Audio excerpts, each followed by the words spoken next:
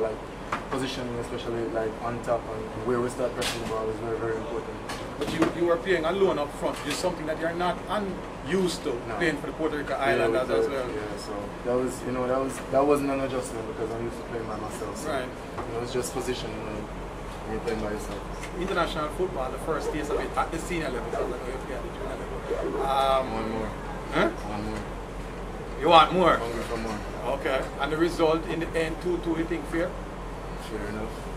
I mean, as long as we didn't lose. As long as- because because we played ten men, we were down two one. So two two. Oh, yeah.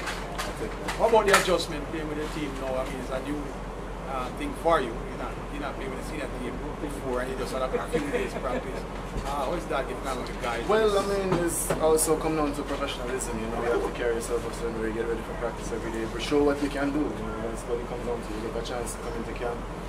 You'll bring it to the table. You know, What's- show. I mean, everybody earned the right to be there, but you have to earn the right to play as well. You know, so You were showing some glimpses along with Roland Newman as a coach here to make a sacrifice. So disappointed that was you uh, Well- when that happened, when you had to you know, you have that. you have a game plan before you go out. When you go out, who knows what's gonna happen? You know, everybody playing the same ball.